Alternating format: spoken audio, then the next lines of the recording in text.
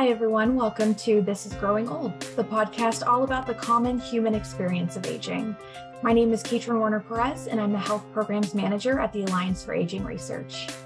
It's Heart Month, which means it's a busy time at the Alliance as we prepare for Heart Valve Disease Awareness Day on February 22nd. Joining me to talk about Heart Valve Disease Day is my colleague, Lindsay Clarke, the Senior Vice President of Health Education and Advocacy at the Alliance.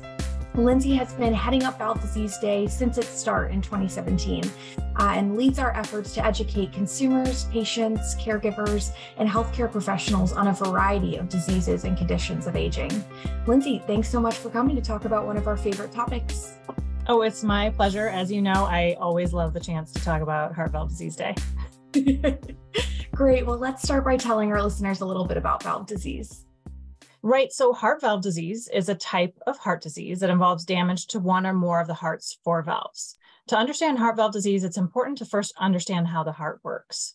The heart is responsible for pumping and continuously circulating blood throughout the body. And the heart has four chambers. They squeeze and relax in a coordinated manner to pump blood into the lungs and then through the circulatory system to deliver oxygen and nutrients to the rest of the body. So between each of the four chambers is a valve, which is a thin leaflet of tissue that acts sort of as a one-way door, allowing blood to pass through and then sealing tightly to keep blood from leaking backwards. If a valve is damaged, it might not open or close properly, and that disrupts that coordinated blood flow. If the valve doesn't close completely and allows the blood to leak backwards, this is called regurgitation or insufficiency. It may also more informally be referred to as a leaky valve. So people who've been diagnosed might have heard they have a leaky valve. If a valve can't open fully to allow enough blood to flow through, this is called stenosis and may also be referred to as a sticky, narrowed, or stiff valve. And a, a, common type of valve disease is called aortic stenosis. So it's the stiffening of the aortic valve.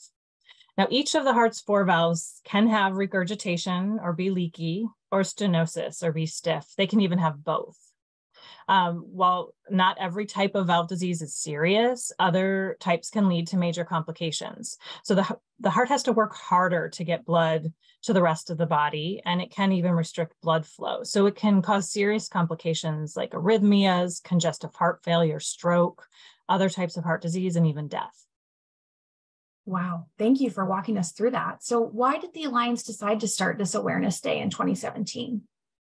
Well, we had for a number of years been creating a number of educational resources on valve disease, but it became apparent that a major gap in understanding and getting people uh, diagnosed and properly treated for valve disease was a lack of awareness of what valve disease actually is. So we did a survey of adults in the US and we found that three out of four people knew little to nothing about the disease.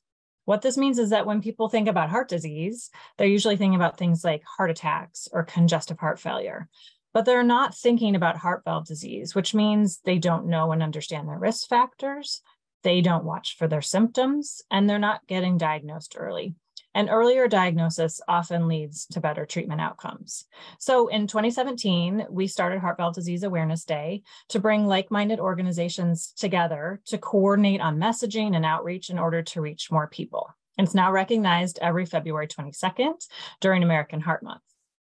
Amazing. And it sounds like you touched on it a little bit, but what are the goals of Valve Disease Day? Right. Well, so the goals of Heart Valve Disease Awareness Day are to use our collective and coordinated voices to raise awareness of the risk factors and symptoms of heart valve disease, to improve earlier detection and treatment, and to ultimately help save lives. And since I'm assuming there are listeners today that haven't heard about heart valve disease, not uncommon to have not heard about it, uh, let me dig into those things a little bit more before we move on. So it's really important for people to understand their risk factors for valve disease. Age is the most common risk factor since what happens is wear and tear over time can cause damage. Uh, we know that about one in 10 people over age 75 suffer from moderate to severe heart valve disease. Um, some people are born with abnormalities to a valve, um, like a bicuspid valve that can lead to problems later in life. So a bicuspid valve is when one of the valves has two leaflets instead of the normal three. And then while it's relatively rare in the US and other developed countries, certain infections like rheumatic fever, which develops from untreated strep throat, can cause valve problems. We also know that uh, heart problems like previous heart attacks can cause damage to the valves. And then things that we think of as risk factors for other cardiovascular diseases are also risk factors for valve disease. So uncontrolled high blood pressure, high cholesterol, high blood sugar from diabetes, those can also raise the risk of heart valve disease. And then we also know that there's certain radiation and chemotherapy for specific cancers that can cause damage to the valves. It's also important that people know what symptoms to watch for. And there's a simple mnemonic to help us remember, which is listen. L is lightheadedness, fainting, or feeling dizzy. I is an irregular heartbeat, heart flutters, or even chest pain. S is shortness of breath after light activity or even while laying down and not exerting yourself. T is tiredness, even after plenty of sleep. And then E is edema, which is the swelling of the ankles and feet. And N is not feeling like yourself. So if things just feel off, getting harder to get to the mailbox, it's getting harder to get up the stairs. I can't do the things that I used to do as well. I just feel worn out. This is something that's worth talking to a healthcare professional with. And also, some people don't always have symptoms with valve disease. Um, so they need to under not only understand their risk factors um, and their symptoms, but they also should go to their doctor for a regular heart check.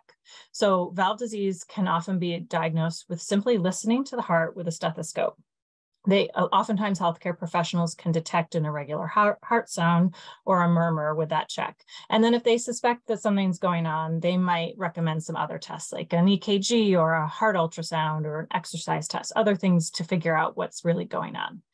But the good news in all of this is that valve disease can usually be successfully treated in patients of all ages. So usually it's done with a valve repair or a valve replacement, and that can be done surgically or may have to be done or maybe done with less invasive procedures.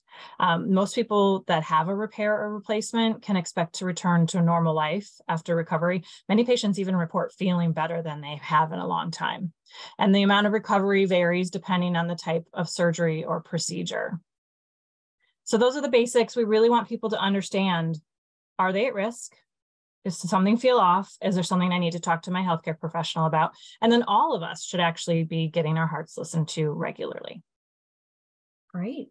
Well, since I've been working closely with you on this year's planning, I know all about the exciting things going on uh, for this year's day, but would you share with our listeners? Absolutely. Now, I, I won't possibly touch on everything. So everyone should go to valvediseaseday.org to see what's going on. Um, but I can tell you that we now have 120 partners and growing that join us every day for or every year for Heart Valve Disease Awareness Day. They include disease organizations, patient advocacy groups, professional societies, heart and vascular centers, and hospitals and health systems. We even have a handful of international partners, and we couldn't do it without them. So there's a lot of things that we're planning, that they're planning. It's still coming together because it's a couple of weeks until valve disease day, but there are some things that I can highlight while we're here. So we'll be doing a radio media tour to take these messages to radio listeners across the country. We're sharing a video um, on TV as a PSA. We're doing a letter to the editor, an op ed, a press release, lots of social media, outreach to digital opinion leaders, you name it, we're doing it. We've also challenged our partners and individuals who follow us to take the screening challenge. So they are hosting screening events, they're getting their hearts listened to, they're listening to their patients' hearts. And a couple of events that are happening on Valve Disease Day um, include our flagship event that we are co hosting at a community screening event with the National Caucus and Center on Black Aging and MedStar Health here in Washington, D.C. So folks can come and learn about valve disease. They can get their hearts checked. Um, one of our partners, Heart Valve Voice Canada, is leading and coordinating a number of screening events across Canada, including one on Parliament Hill in Ottawa and at the West Edmonton Mall, which is the second most visited mall in Canada. It's huge. It's really exciting what they have planned. Um, and the managing director of Heart Valve Voice Canada will be on this podcast later this month uh, to talk about their plans and how they're helping to make Heart Valve Disease Awareness Day a big day in Canada. So please tune in uh, to listen and hear more. Um, there's screening events being planned by Carondelet Health Network, Abrazo Health, Lehigh Valley Heart and Vascular Institute, and so many more. Um, our partner at Minneapolis Heart Institute Foundation is hosting an educational event with prominent experts in valve disease. Uh, MedStar Health, in addition to doing the event with us, will be hosting a Facebook Q&A with some of their leading experts. Um, there's walks being planned in Africa, as well as a webinar with experts from around the globe. And then our partners from Rock from the Heart will be hosting a number of educational events and co- concerts featuring Sebastian Bach, Rick Springfield, and Night Ranger. So there's a ton of stuff going on. People can go to valvediseaseday.org slash events to see more about all of these and more. Wow, that is incredible. Well, before we wrap up, would you let our listeners know how they can get involved? Yes. So I already mentioned the URL, but to bring it home, everyone should go to valvediseaseday.org. Um, they can learn about becoming a partner. They can learn more about valve disease. They can also learn about how to get involved in the screening challenge. Um, and then that challenge, just to, to talk about what it means for individuals to take the challenge, is first step is get your heart listened to uh, or make an appointment to do it. You know, there's only a few weeks until Valve Disease Day. If it means just making an appointment, um, that is fantastic. The second step is to take a picture.